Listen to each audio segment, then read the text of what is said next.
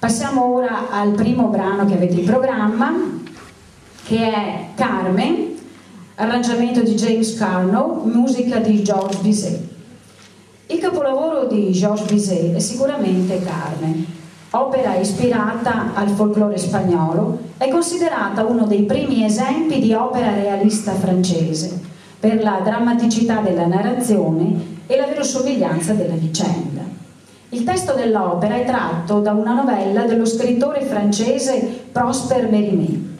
In effetti Bizet portò il teatro musicale francese alla pari della contemporanea cultura letteraria con la sua capacità di cogliere il colore, il senso della realtà, una realtà spesso esotica, ma di un esotismo sobrio, conciso, senza fronzoli o sbavature e con l'appassionata ricchezza del suo linguaggio armonico e della sua orchestrazione.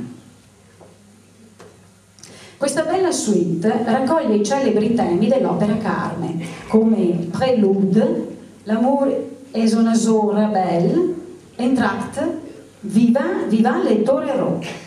Carme,